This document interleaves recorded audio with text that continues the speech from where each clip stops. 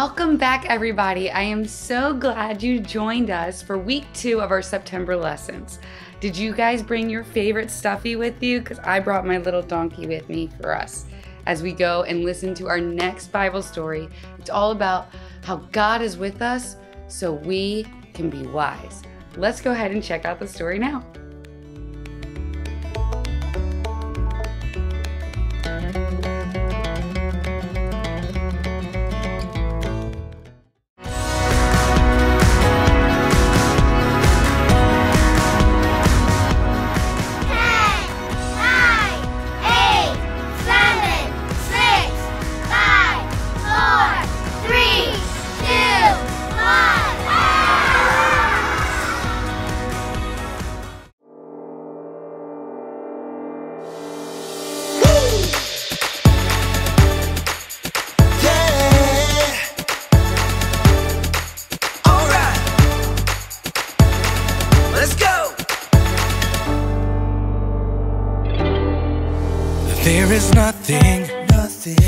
impossible. No, there is nothing, nothing. too difficult because you're with, you're with me. I am not afraid.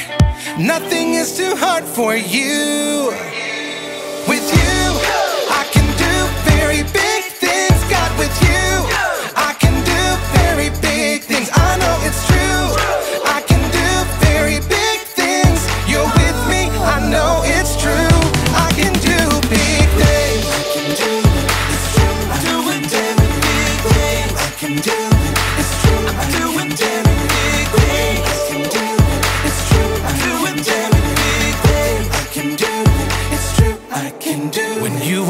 with me.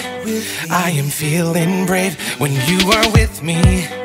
I am not afraid, God, you are with me. So I can be strong, cause nothing is too hard for you. No.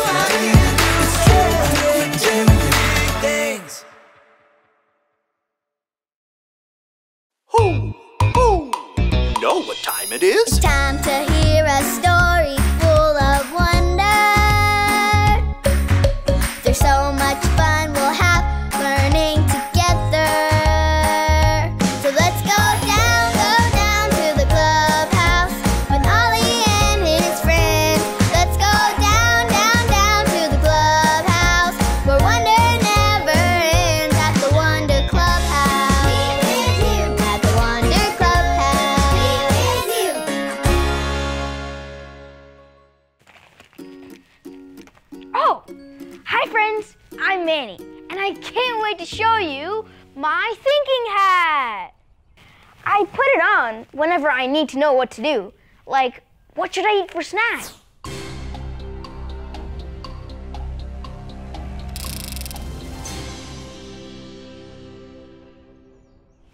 Or what color marker should I draw with?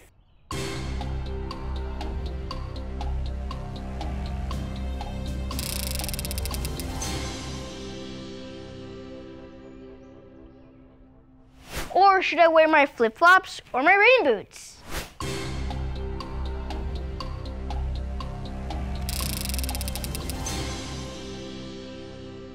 This thinking hat is so great.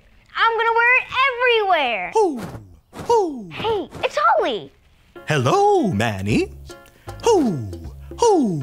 That's quite the hat. How's it working for you? Hi, Ollie. When I spin my thinking hat, I always know just what to do. Making choices isn't easy. That's true. But I know someone wise to help you. Listen to this story. Just follow me through. Hoo! Hoo! Follow me through, follow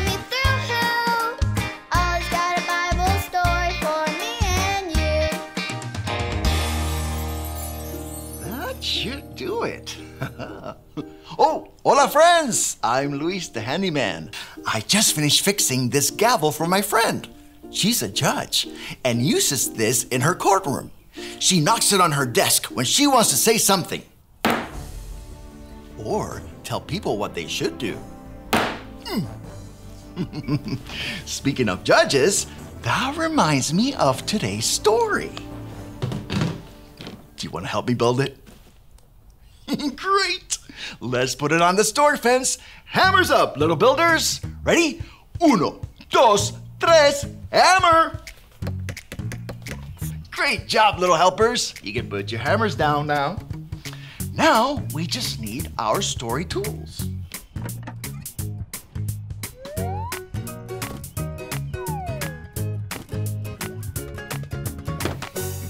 Yup, we have everything we need. Today's true story from the Bible begins with a woman named Deborah. Deborah was the leader of all God's people. She was their judge. Every day, Deborah would stand under a tree and the people would come to her with their big questions and ask her what to do.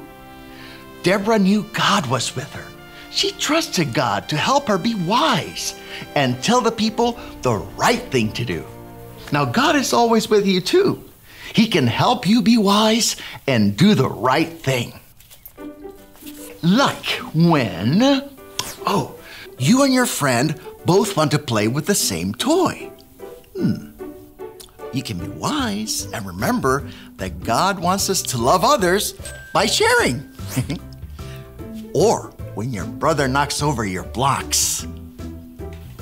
Well, you can be wise and use kind words instead of yelling at him. or when you see someone get hurt, you can be wise and remember that God wants us to help people. God was with Deborah and helped her be wise. God is always with you and can help you be wise and do the right thing too. hey there, Ollie. Tell me, who is always with you? God is always with me. Yes, it's true. Now let's hear it from you. Tell me, who is always with you? God is always with me. That's the truth, friends. You better believe it. Adios. So there's your story. And it's all true.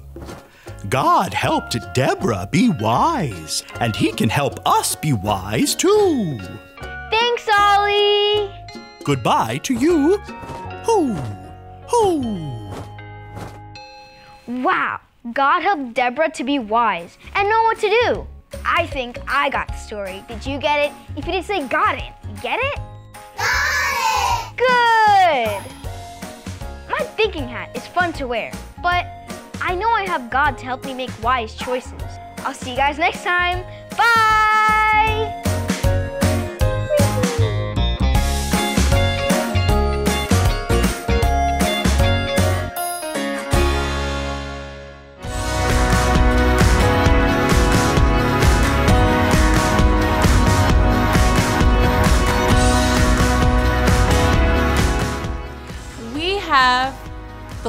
Our God to help us.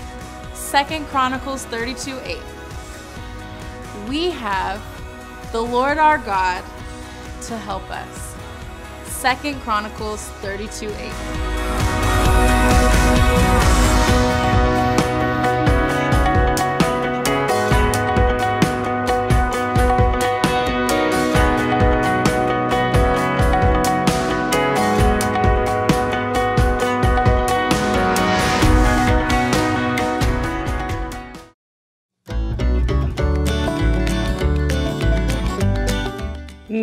Donkey love that story because we get to know that God is always with us. Who is always with you? That's right, God is always with you.